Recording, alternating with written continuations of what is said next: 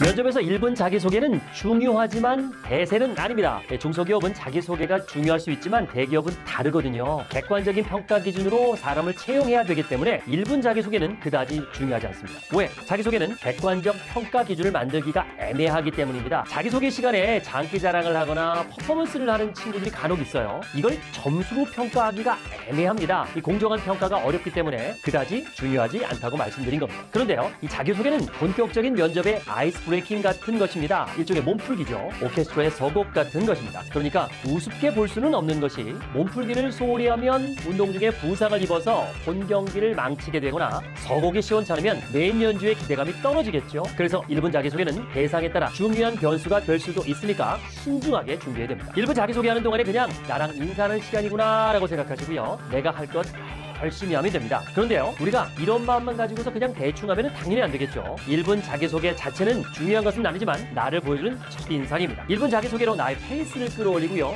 주도권을 잡아야 되거든요. 면접자는 면접에서 몇 개의 질문을 받을까요? 한 40분 동안 5명이 들어간다고 치면 8개 내외의 질문을 받게 됩니다. 그런데요, 이 질문을 받을 때 내가 원하는 질문을 받으면 내가 준비한 스크립트를 말할 수 있는 기회가 생깁니다. 그러면 합격 확률이 상당히 높아지겠죠. 그래서 1분 자기소개의 목표는 관심 끌기입니다. 상품이든 사람이든 관심을 가지면 궁금한 것들이 많아집니다. 궁금하면 질문을 하게 되죠. 그래서 1분 자기소개에 잘했다 못했다의 기준은 나에게만 할 수 있는 추가 질문이 들어왔냐입니다. 누구에게라는 공통 질문만 받았다면 1분 자기소개가 그다지 관심을 끌지 못했다고 판단하시면 됩니다. 그냥 나는 잊혀졌다라고 생각해도 될 것 같아요.